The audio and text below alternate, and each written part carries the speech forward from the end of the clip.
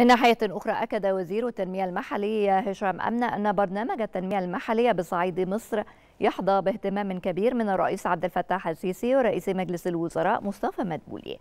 وخلال اجتماعه مع محافظ سوهاج طارق الفقي ومحافظ قنا أشرف الدوادي ووفد من البنك الدولي برئاسة مارينا ويس المديرة القطرية لمصر واليمن وجيبوتي بالبنك أكد وزير التنمية المحلية أن برنامج تنمية الصعيد أسهم خلال السنوات الخمس الماضية في خدمة أكثر من خمسة ونصف مليون مواطن في محافظتي سوهاج وقنا.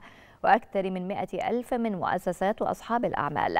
فضلا عن توفير 396 ألف فرصة عمل.